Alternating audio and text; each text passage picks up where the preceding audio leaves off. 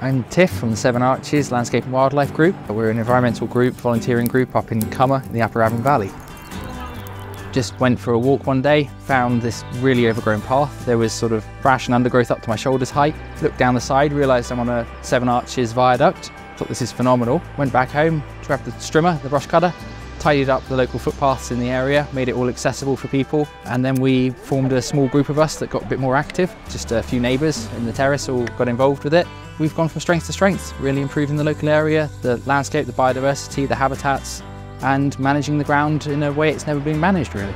It might be litter picking, it might be clearing some scrub, maintaining the pathways, making bird boxes, putting bird boxes in the trees.